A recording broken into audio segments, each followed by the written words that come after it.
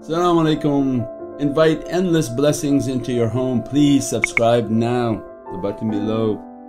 Bismillahir Rahmanir Rahim that the journey begins with knowledge. That when Allah asking us to stop in a month and the whole month to fast, to reach a state of taqwa and consciousness and to be conscious of our taste, our food, our condition and to read Holy Qur'an, to pray, to praise, to recite. Then Allah inspire within the first surah, Alif Lam Bismillahir Rahman Rahim Alif Lam Mim Dhalikal Kitab La Rayba Fi Hudan al Muttaqeen. We were just asked that in our office before we came out. And it shows you that this journey if you take a regular path it's a completely different understanding. You open Qur'an and begin to read.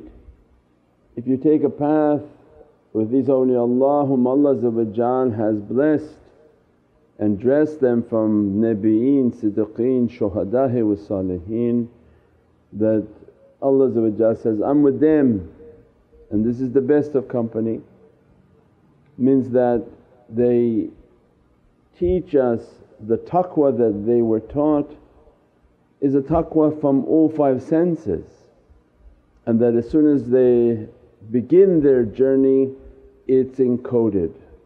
So people say, Alif Lam Mim, don't worry about it, it's just unconnected letters. One who doesn't know says, don't worry about it, it's unconnected letters. But the one whom knows said, no this is a key. This is right when our journey is going to begin. If you have the key it's like the train track, move this way, you're on the path of Alif Lam Mim. And awliyaullah come and teach this secret of our whole existence is in izzatullah. When Allah gives His alif and the 24,000 meanings for every letter. That this izzatullah is now going to give us a hint of this story of creation and this journey where is it exactly going. And there's that Allah comes and begins to show that my might and my majesty is a power for everything and you'll never reach to it because I have no partner. You may know of it, you may try to witness some of it and that alif begins to teach us that what you should be seeking the reality of is this lam. This soul of Sayyidina Muhammad which is Allah's ancient tongue, lisan al-qadeem, the ancient tongue that Allah created to speak on His behalf because Allah wanted to be known and is a hidden treasure wanting to be known. So Allah wanting to be known creates the soul of Sayyidina Muhammad and that reality was created only to make Allah known. What type of purity, what type of truth, what type of reality because dunya people think from dunya, oh are you talking about this gentleman who came from the, the, the desert? And then they make it very humanistic, say, no, no this that was the physical body and the noble physical body of Sayyidina Muhammad but before all of that, when Allah wanted to be known in the world of light which its beginning is completely unknown, when it began we have no understanding of it. When Allah wanted to be known He created the soul of Sayyidina Muhammad and made him the Khalifa, made him the source of all angels, all heavens, all paradises, all rivers, all streams, all creation would be coming from this noble soul. So then you're wondering if there's any other deputy, if there's any other representative. When this soul was created only for the purpose of representing Allah I want it to be known. This is the only purpose I created. So Allah is known through His creation. Created beautiful flowers from the same Gul Muhammadi, Nur Muhammadi created immense and vast universes from this Nur Muhammadi to what? Allah would be known to be glorified. When you look at Allah's creation you're required to say, Subhanallah, Ya Rabbi your, your glory beyond imagination, how you create all these things. And that's how Allah wanted to be known. Create these immense creations, immense beauty, immense glorifications all from this lisan, all from this reality. And then Allah give us a hint that look and unlock the reality of this mim. في السماء اسمه Sayyidina محمود صلى الله عليه وسلم and في الأرض Sayyidina Muhammad صلى الله عليه وسلم and to him belong infinite names that Allah has dressed. So then awliyaullah gave these are like a sign on this super highway, super speed highway like beyond bullet train highway. Which way you going? We're going alif lam mim ya Rabbi, we're going. Dhalik kitab. For verily this book la rayba fi has no crookedness. And Allah's highest technology, light encrypted technology that Allah's kitab in which everything was written from that lam, every story that would be written, every creation that comes into existence, its sustenance, its purpose, its life and its death is written in a book, in a book of light. If the only light Allah created is the light of Sayyidina Muhammad oneness, wahdaniyah. Allah ahadiyah, the creator, there's nothing like unto Allah and He created everything from one source, a ruhul wahid. I created everything in truth. This ruhul wahid is haqq, it's hayyan qayyum and Allah give to us, ذَلِكَ الْكِتَابَ لَا رَيْبَ فِيهِ that, oh you people who are going with awliyaullah, the book of Allah is the soul of Sayyidina Muhammad and there's nothing of anything to imagine of crookedness. Everything written and dressed upon this soul of Sayyidina Muhammad is completely in truth. But it's a guidance only for the muttaqeen. Hudan al muttaqeen because they trained and they took a path in which to be trained by muttaqeen and the muttaqeen trained them that Allah wants all your senses under His taqwa. So you ask other people, I don't know what videos they make for taqwa, you get a sense of what people are talking, be conscious of God, fear God, fear God. No, no, no, it's not like that only. Your ears have to be trained in Allah's way that you don't hear bad, you don't listen to bad, you don't let the, the devil to whisper into your ear. The ear is not the house of the shaitan to keep finding a, a company with you to whisper in. They cleaned that a long time ago. It's as if he's urinating in your ear when he talks to you. They don't let the, the waste of shaitan enter into their ear. So they were trained on how to make their sami, their hearing to be muttaqeen. They clean it, clean it, clean it and they only want to hear good, they only want to hear salawat, they only want to hear Holy Qur'an, they only want to be in the company of dhikrullah. As a result Allah gave them a perfection in their hearing. So they inherit from Sayyidina Yasin yaqeen as-sami, they perfect the perfected hearing for all creation. Begin to perfect their hearing and that has a direct connection into their soul because their soul moves through their ear.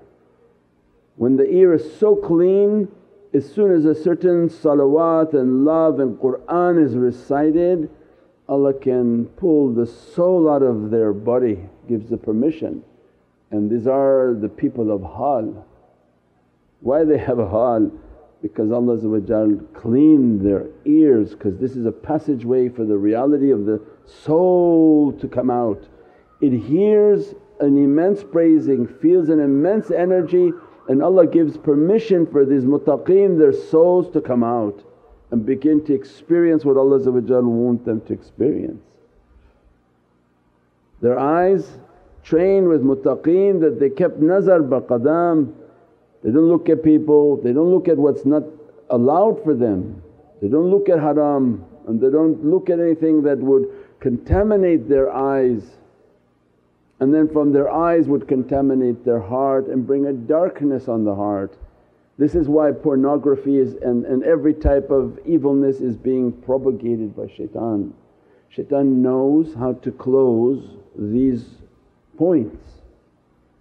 If you look down in life, clean and purify your vision, Allah begin to open the vision of your heart because your physical eyes were cleaned they didn't contaminate the heart and Allah you were trained then to look down, meditate, contemplate, close these eyes that what I'm looking for is not in my physical eyes and Ramadan is every day for them. Ramadan for normal people is just this one month they're going to try to abstain, they probably curse and yell and scream all day long at people because they're hungry and angry. The muttaqeen, every day is, is Ramadan for them, every day they're abstaining. Every day they're abstaining on all these senses, they abstain from their ears, they abstain from their eyes, they purified their vision to the best that they can in the vicinity and the control where they are. The more harmful around you the more reward from Allah if Allah wanted it to be easy He would have sent all the muttaqeen into the desert and said, go sit out there where there's nobody to look at, oh you're going to raise to such a high station easy. That wasn't about it. That was to be around every type of forbidden and keep your eye on your feet. Don't look, don't engage in it to the best of your ability, control yourself from it Allah going to give you immense reward. And that's why in the last days the more the badness the more quicker the rewards are coming for the believers. Because Allah knows the difficulty, this is being graded on a scale. Allah says, I know I intensed everything around you, every type of wicked song, there's not a single song that has a nice word in it. You abstain yourself from that Allah has an immense reward coming to you. I even ask the children, just listen to something you can't even understand the language. If you have to listen to something, dun, dun, dun, dun, at least put a song you don't have the language, you don't have to hear these bad words continuously going into your heart. So they purified their hearing, purified their eyes, trained on how to purify their breath, the importance of the breath. They didn't get around carcinogenic elements and smoke and contaminants because they knew that every breath coming in was pure for them, was an energy for them, was a means in which to see their Lord. The pure the breath, the energy of the breath that comes in gives them more yaqeen, more ability for their heart to one day open and see what Allah wants them to see. Their sense and touch was to be purified and perfected so that they're subtle in their touch, they're not numb to the world. They're subtle in their energy training, immediately they can feel something's not right. Somebody walked into a room with a lot of heebie-jeebies on them and they become attacked and they feel it. Most people are numb, they walk with all sorts of demons around them, shayateen on top of them, crabs and lobsters and snakes and rats and roaches all over them from the unseen world and they're working happily because they're numb. It's like they're behind an iron curtain, they feel nothing because their heart is dead. But when you become subtle in your sense of touch, you feel everything because you trained your energy to be sensitive to everything. You feel good, and you feel bad right away when things are bad. So their sense of the muttaqeen is hyper alert and their sense of taste. Means that when Allah open all their senses to be sincere, the last He opens for them is the sense of taste, the dhawq, that they taste the reality. Whatever is being accomplished in the zikr, they're tasting it, they're hearing it, they're seeing it, they feel it so much that they can taste it.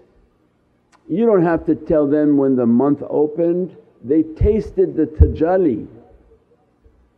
Crazy people who don't even accept a computer and scientific proof and verification. They're not a people from dunya, they taste the tajalli that Allah is sending. They sense it because the muttaqeen hyper alert like a radar medical machine that their ears are sensing the tajalli and the change. Their spiritual vision is sensing a tajalli and a change. The breath and the energy they're breathing, they sense the spiritual change. As a result of all of those Allah changes their tongue and they inherit from this grand lisan. From this alif, lam, mim, they are inheritors of that lam.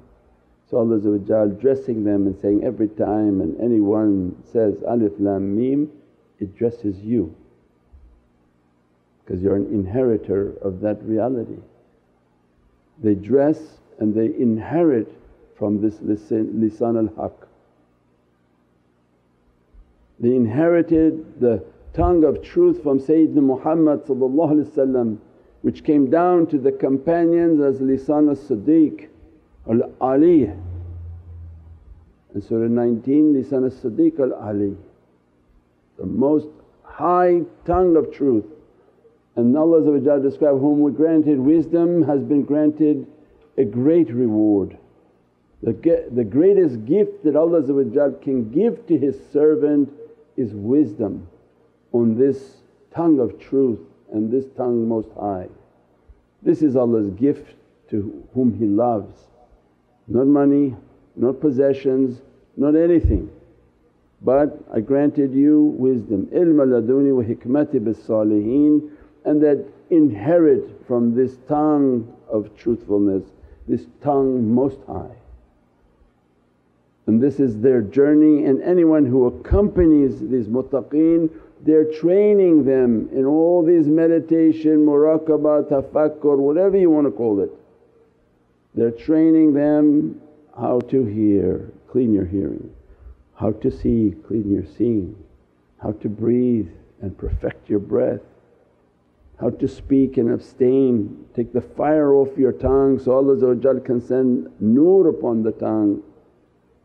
It says, from if they yelp and, and scream and talk bad from their tongue, imagine what's in their heart. Allah describes in Qur'an, if what came from their mouth is displeasing to you, what in their heart is far worse. The mouth is a symbol of a heart. If a mouth is bad, the heart is worse. But if the mouth is spewing haqqaiqs and love for Sayyidina Muhammad then Allah describing, then the heart is much more intense and you have no idea what's in that heart. We pray that Allah grant us you know, the realities of Ramadan to reach towards these realities and we reach by love not by anything else. If that which you love you accompany it and you accompany with an open heart and love they begin to reflect that reality upon the servants of Allah سبحان ربك رب العزة عما يصفون وسلام على المرسلين والحمد لله رب العالمين بحرمة محمد المصطفى وبسير سورة الفاتحة Welcome to Muhammadan Way YouTube channel, your premier destination for videos on Sufi spirituality, classical Islamic teachings, and realities of the soul. With a library of over a thousand videos and new titles uploaded weekly, Join us to discover true meaning and inner peace in our often troubled world. Click the link now to subscribe.